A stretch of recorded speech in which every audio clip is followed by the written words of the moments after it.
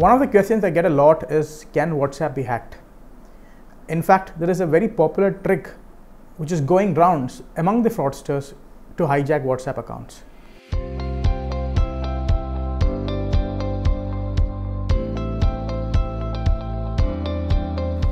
What the fraudsters does is they find your phone number and your details online. Now they give you a phone call and convince you that they are either calling from the bank, they're calling you from uh, a company that is going to give you a gift or a job offer.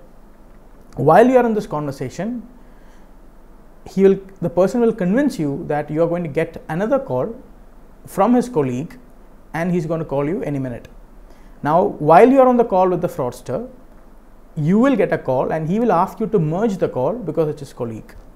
Now, what the fraudsters are doing in the background is they are initiating a new WhatsApp registration on your phone number and they are requesting the OTP to send to your phone via a phone call. So, the minute you merge the call, the attacker or the bad guy who's on the other end will be able to see the OTP, hear the OTP, and get access to your account.